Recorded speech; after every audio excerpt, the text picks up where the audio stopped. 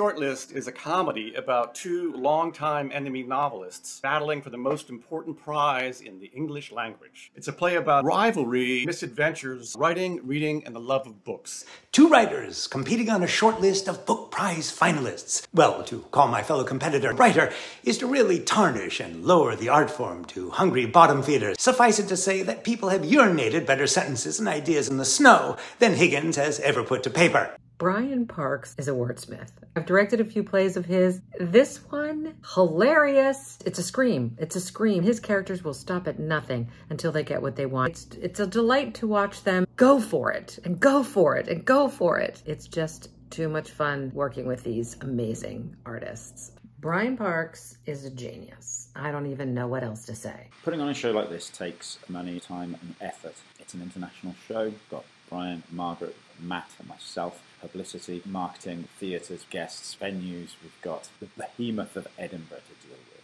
So please, please, Please, please, please, please please, please, please, please, please, please. Please! help us out. Yeah? Help us get this amazing show on. Thank you. I, I don't know what's inside of Brian Parks's brain, but but the stuff that comes out, it'd be fun to sort of dig around in there and see.